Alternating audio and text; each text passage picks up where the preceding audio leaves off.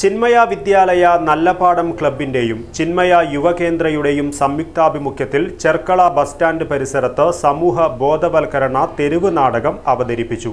പരിസ്ഥിതി സൗഹാർദ്ദ ദീപാവലി എന്ന വിഷയത്തെ ആസ്പദമാക്കിയാണ് തെരുവ് നാടകം സംഘടിപ്പിച്ചത്. This news brought to you by Aiwa sales Kasaragod Kanhangad Mangalore Vidyanagar Chinmaya വിദ്യാലയത്തിലെ അമൃത ഭാസ്കർ സഞ്ജന സന്തോഷ് വിഷ്ണുപ്രിയ എന്നീ കുട്ടികളുടെ നേതൃത്വത്തിലാണ് എക്കോ ഫ്രണ്ട്ലി ദീപാവലി ബോധവൽക്കരണ തെരുവ് നാടകം അവതരിപ്പിച്ചത്. പടക്ക നിർമ്മാണശാലകളിൽ എരിഞ്ഞടങ്ങുന്ന ബാല്യത്തെക്കുറിച്ചും മനുഷ്യരിലും മൃഗങ്ങളിലും ഉണ്ടാകുന്ന ആരോഗ്യ പ്രത്യാഘാതങ്ങളും പാരിസ്ഥിതിക പ്രശ്നങ്ങളും നാടകത്തിൽ പ്രതിപാദിച്ചു. പ്രമേയത്തിലെ വൈവിധ്യം കൊണ്ട് ശ്രദ്ധേയമായ തെരുവു നാടകം അവതരണത്തിലെ പുതുമ കൊണ്ടും കാഴ്ചക്കാരുടെ ഹൃദയം കവർന്നു.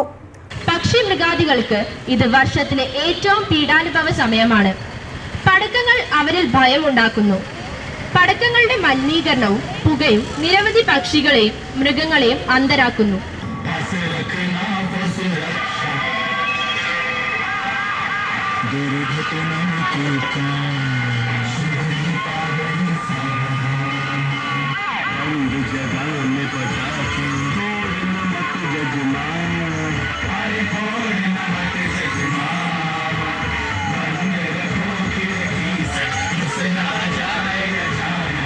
വിദ്യാലയ മേധാവി Swami Viviktananda Saraswati principal Biju Madathil vice principal Padmavathi Panchapakesan headmistress Sindhu Sreedhar S R Poornima എന്നിവർ നാടകത്തിനു വേണ്ട എല്ലാവിധ പിന്തുണയും നൽകി.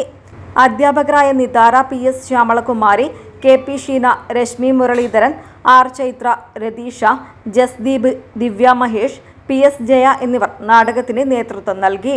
ദീപാവലി ആഘോഷങ്ങൾ എങ്ങനെ പരിസ്ഥിതിക്ക് കോട്ടം തട്ടാത്ത രീതിയിൽ ആഘോഷിക്കാം എന്ന വിഷയത്തെ ആസ്പദമാക്കി ഫയർ ആൻഡ് സേഫ്റ്റി ഉദ്യോഗസ്ഥരായ ജിതേഷ് പ്രസാദ് എന്നിവർ സംസാരിച്ചു. ഗൺ പൗഡർ പൊട്ടാസ്യം നൈട്രേറ്റ് പോലെയുള്ള വസ്തുക്കൾ ഉപയോഗിച്ചിട്ടാണ് ഈ പടക്കങ്ങൾ ഉണ്ടാക്കുന്നത്. അപ്പോൾ ഈ പടക്കം നമ്മൾ പൊട്ടിക്കുമ്പോഴത്തേക്കും നമുക്ക് ഉറപ്പായിട്ടും നമ്മുടെ ഹെൽത്ത് ആയിട്ട് ഹെൽത്ത് എക്സൈസും ഉണ്ടാവും അതുപോലെ തന്നെ എൻവയോൺമെന്റൽ പൊല്യൂഷൻ ഉണ്ടാവും. പിന്നെ അതുപോലെ തന്നെ ഈ ഇത് പടക്കം പൊട്ടിച്ചതിന് ശേഷം നമുക്കുണ്ടാവുന്ന പ്രശ്നങ്ങളാണ് ഈ ഹെൽത്ത് സാറ്റ്സ് എൻവയോൺമെന്റൽ പൊല്യൂഷൻ എന്ന് പറയുന്നത്. പക്ഷേ ഈ പടക്കം പൊട്ടിക്കുമ്പോഴത്തേക്ക് നമ്മൾ കുറച്ച് കാര്യങ്ങൾ ശ്രദ്ധിച്ചാൽ നമുക്കിത് ഒഴിവാക്കാൻ പറ്റും. News bureau Kasaragod.